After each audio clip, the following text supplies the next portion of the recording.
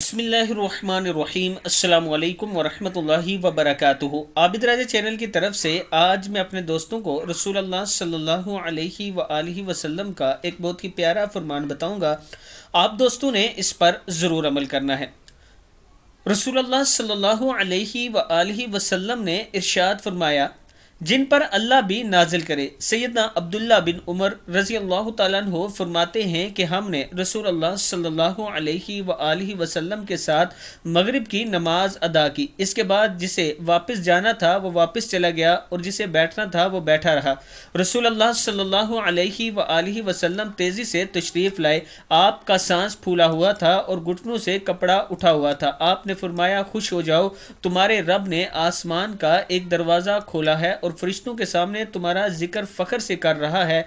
फरमा रहा है, मेरे बंदों को देखो, इन्होंने एक फ़र्ज़ अदा किया और दूसरे का इंतज़ार कर रहे हैं। इबन माजा की हदीस है। मैं अपने दोस्तों से गुजारिश करूँगा कि इस पर आपने ज़रूर अमल करना है। असल वरहमल वर्क